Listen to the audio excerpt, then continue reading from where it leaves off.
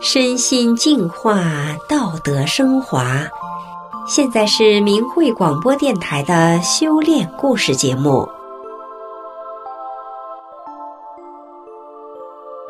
听众朋友，您好，我是雪莉。今天和大家分享的故事是被众人羡慕的一家子。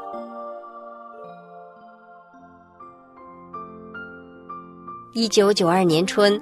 在黑龙江某边陲小城，一个白净可爱的女婴出生了，她就是我们故事的主人公郑雪。郑雪的降生给全家带来了巨大的喜悦，但却让体质虚弱的母亲落下了很多病。一九九六年，年仅四岁的郑雪跟随母亲一起走进了法轮大法的修炼。让我们一起来听听。郑雪讲述的故事。时光飞逝，如今我已经是一个二十八岁的大姑娘了。回首在法轮大法中走过的二十四年，真的感觉无比幸运，无比幸福。真善忍三个字印在了我的心灵深处，贯穿在我人生的各个阶段。我的道德境界不断的升华。大法也给我和身边认同大法的亲友带来众多的好运与福报。修炼法轮大法之前，我母亲体质特别差，自我记事开始，母亲就常年与药为伴，是街坊邻里有名的药罐子。我的父亲是一名普通工人，全家就靠他的那点微薄收入糊口。母亲治病。几乎花光了家里所有的钱，日子过得十分贫寒。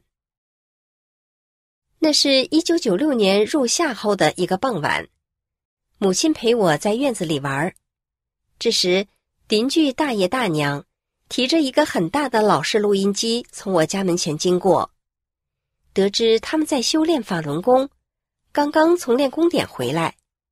他们介绍说，这功法特别好。是真正的佛家上乘修炼功法，不仅能祛病健身、道德回升，还可使人返本归真。说罢，他们邀请母亲去他们家看大法师傅的教功录像带。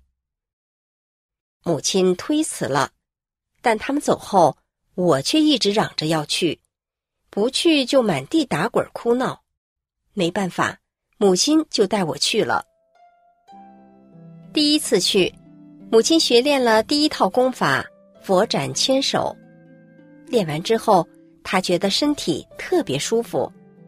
以往因为风湿病，后背总疼，但刚练完第一套功法，就感觉后背不疼了，还全身轻松。有了第一次神奇的体验，此后便天天带我去邻居家学功，动作学会后，又请了大法书转法轮。正式走入了修炼。随着修炼的不断深入，母亲真的变了一个人，所有的药都扔了，身上所有的病不药而愈，人变得满面红光，气色特别好。大法不仅让饱受疾病摧残的母亲恢复了健康，也为家里省下了一大笔医药费。无病一身轻的母亲心情舒畅了。人也有劲儿了，以前根本干不了任何重活修炼后，他力气变大了很多。后来为了补贴家用，他还翻地种菜，骑自行车驮着几十斤的菜篮子出去卖菜。一个病殃殃的药罐子，变成了一个大力士了。那时参加集体晨练的人很多，我每天也都起大早。跟着母亲一起去参加集体练功。以前一感冒发烧就要去诊所打针，修炼以后我再没打过针，没吃过药，身体非常健康。母亲身体健康后，为了补贴家用，就在家种菜出去卖。市场里很多商贩都用调过的秤卖东西，而我妈妈卖菜从不缺斤少两，甚至。每次还都多给顾客一些。那时市场附近有一个流浪汉，常年以捡垃圾为食，市场附近的人都叫他大傻子。我见他总是捡垃圾，很可怜，所以每次陪妈妈来卖菜，我都会管妈妈要五毛钱，买两个热乎乎的馒头送给他。时间久了，市场周围的那些老百姓都知道了我给大傻子买馒头的事，都夸我。这么小的孩子真懂事，这么善良。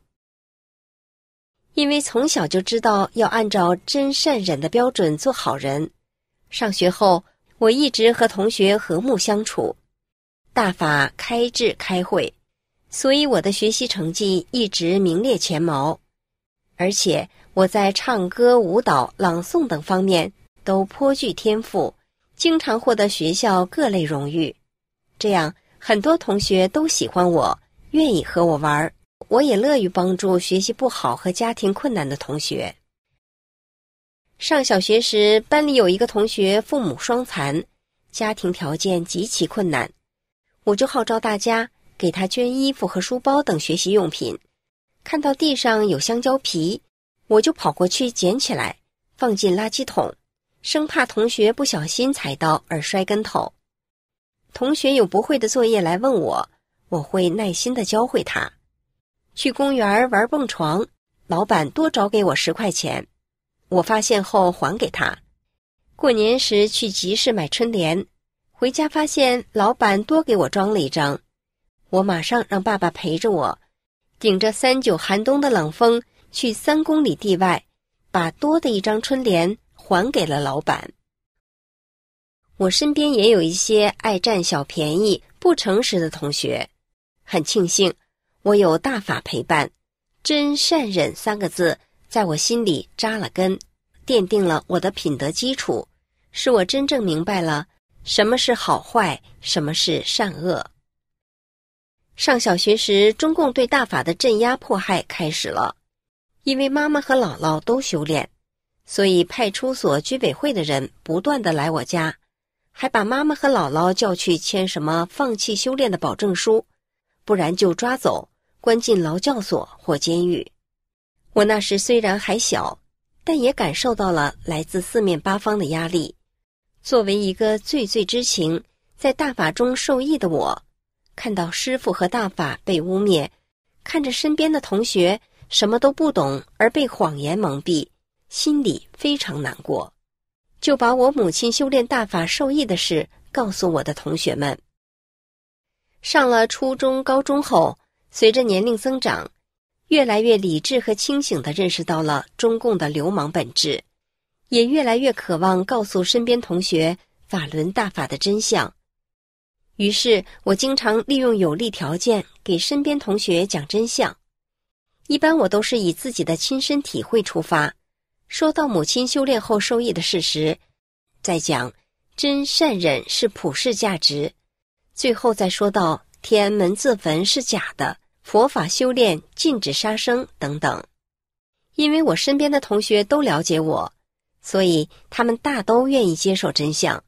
很多同学也退出了共青团和少先队，选择了美好的未来。高考结束，我以一本的成绩考上了大学。大学的三位室友和我非常投缘，我们彼此有爱。他们后来都明白了法轮功真相，也支持我修炼。这样，我在寝室可以自由的看大法书、练功、打坐，开创了很好的修炼环境。我也将大法的美好告诉他们，他们也获益匪浅。大学毕业后，生活的都很幸福。大学时期，一个偶然的机会，我来到了南方某城市的广播电台实习，并顺利通过了实习期，取得了工作机会。